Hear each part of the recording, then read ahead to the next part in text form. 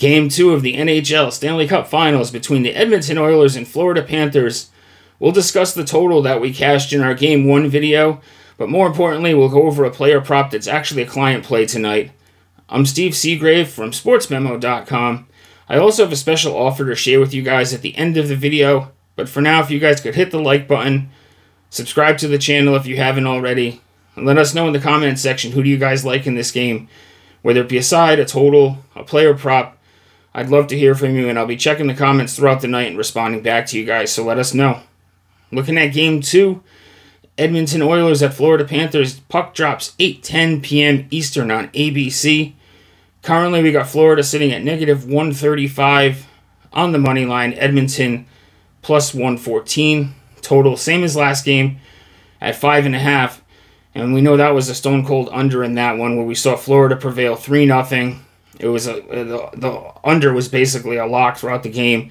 Even the third goal was on the empty netter. And we went over that one in the game 1 video. You know, that was our that was our play for the video. We also gave out the Oilers at plus money to win the series, which I still think there's a path for that to happen, although it would have been nice to wait one game and get that in now that they're I think they're plus 210 now to win the series. I still think there's a path for Edmonton despite how dominant Florida looked in game 1. Like I said, we, we gave out that under in that first in that first video, 3 nothing in that game. And uh, again, they, they scored in the empty net, so it was basically like a stone cold block.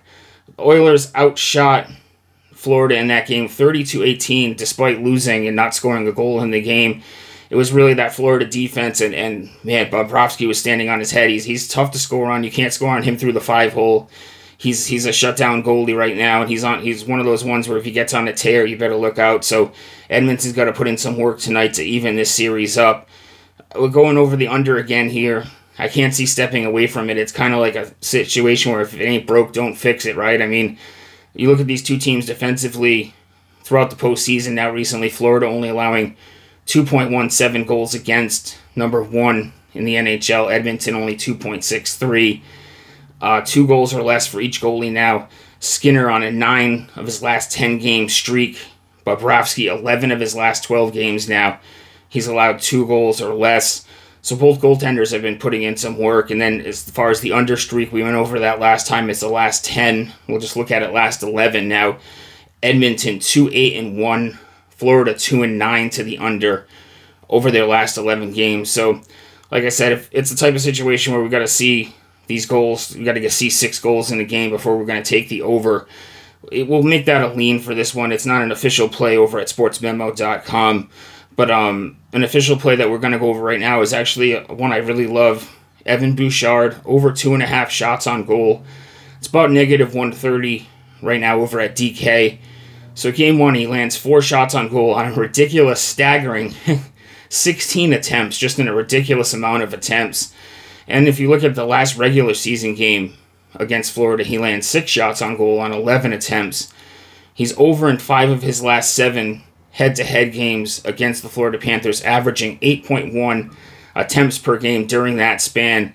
And I would fully expect the Oilers to be firing away again tonight. They don't want to go down 2 nothing, obviously, and they were firing away in game one. I'd expect more of the same. Bouchard, he's out there for the most of any player. Basically, I mean, he led the Oilers in minutes with 27, a little over 27 minutes, and he also led them in shifts with 24. So he's seeing more ice time than anyone on the team. He isn't to, uh, afraid to fire away those shots either from even as a defenseman. And um, I mean, the 16 attempts is just ridiculous volume. I wouldn't expect that again. But even if he were to get like half that, you know, eight to 10 attempts, I would gladly take an over two and a half shots on goal. It's actually an official client play for me over at sportsmemo.com.